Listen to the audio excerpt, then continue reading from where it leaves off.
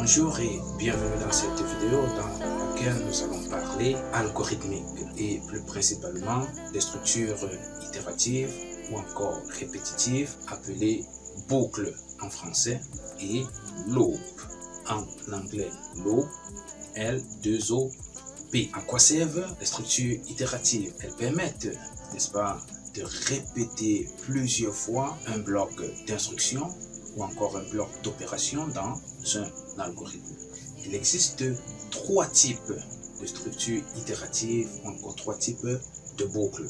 La boucle pour, la boucle tant que et la boucle répétée. Nous allons commencer par la boucle pour avec la syntaxe de la petite boucle. Pour la boucle pour, la syntaxe commence par pour et puis compteur. Compteur ici représente la variable de contrôle. Ensuite, 2.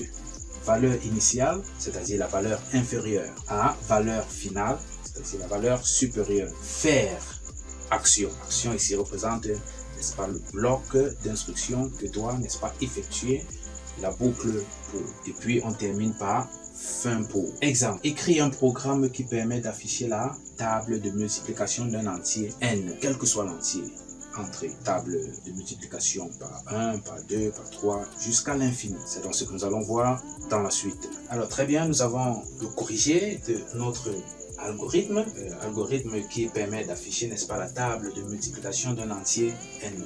Vous savez, un algorithme se subdivise en trois parties. L'entête de l'algorithme qui commence par algorithme suivi du nom de l'algorithme. Le nom de l'algorithme, c'est table multiplication. C'est en un seul mot en un seul mot.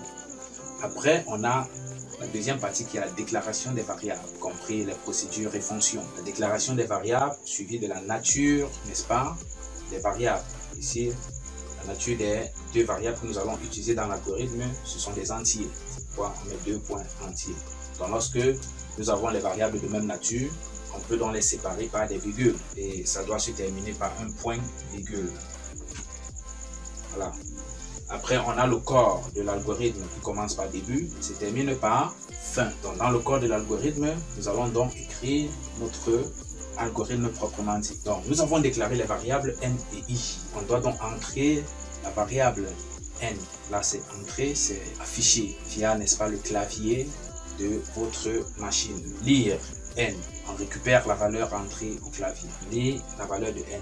n peut être 1, ça peut être 2, ça peut être 3 jusqu'à l'infini. Ensuite, on écrit table de multiplication pour la valeur n entrée. Si on a entré 6, ça va donc afficher table de multiplication pour 6. Si c'est 7, table de multiplication pour 7. Table de multiplication pour 11. Table de multiplication pour 80, ainsi de suite. Pour donc afficher la table de multiplication globale, on va donc utiliser la boucle pour. On commence là se termine là avec fin pour. Pour I2, donc I ici c'est le compteur. Pour compteur de valeur initiale à valeur finale, faire action. voyez, et puis fin pour. pour I, pour compteur de 1 à 10, valeur de valeur inférieure à valeur supérieure, alors de valeur initiale à valeur finale, faire. Quelle est l'action que la boucle doit faire? Écrire I fois n égale à i étoile n. i va de 1 à 10. Donc, ça va faire 1 fois 6.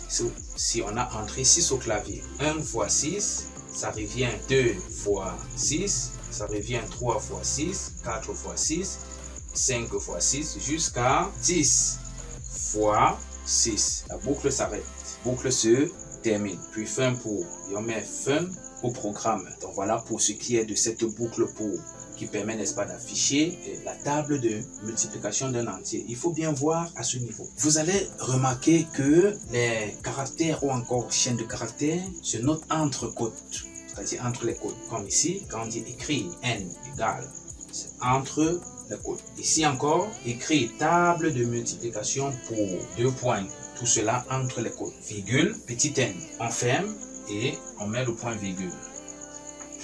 Une instruction se termine par un point virgule. On commence la boucle. Ici, pas de souci. Écrit I, le compteur, fois c'est un caractère entre les côtes. Donc i, virgule, i, virgule, fois, c'est un caractère que ça doit afficher, ça doit être affiché à l'écran. Virgule, n, virgule, égale entre les côtes, virgule, et puis i, étoile, n.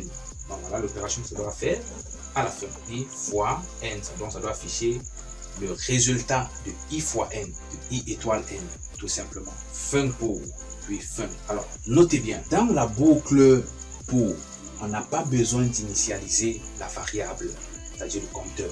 Et il est interdit de modifier compteur, la valeur initiale, la valeur finale dans le corps de la boucle. Donc impossible quand vous avez commencé ici de venir écrire, de venir modifier, n'est-ce pas, ces trois valeurs, compteur, la valeur inférieure, la valeur supérieure dans le corps de la boucle impossible. Mais dans la boucle tant que et dans la boucle répétée, on doit initialiser, n'est-ce pas, la variable. Donc voilà la différence qu'il y a entre la boucle pour et les deux autres boucles.